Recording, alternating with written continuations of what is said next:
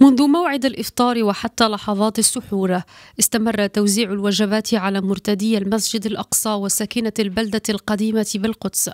فرق المتطوعين التابعة لبيت مال القدس الشريف في باب الأصوات كما في باب الساهرة والعمود عملت بوتيرة منسقة على تقديم مئات من الحصص الغذائية في إطار العملية الإنسانية الكبرى التي أمر بها صاحب الجلال الملك محمد السادس رئيس لجنة القدس للفلسطينيين في القدس وغزة طيلة الشهر الفضيل في ليلة آه، القدر.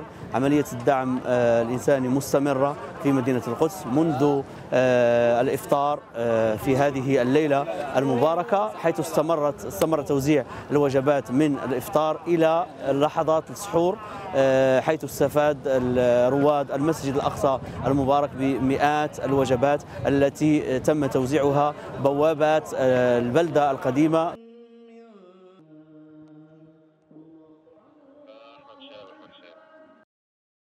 في أجواء الروحانية الغامرة لليلة القدر واكبت هذه المبادرة آلاف الفلسطينيين الذين تمكنوا من عبور الحواجز إلى المسجد الأقصى لإدراك صلاتي العشاء والتراويح.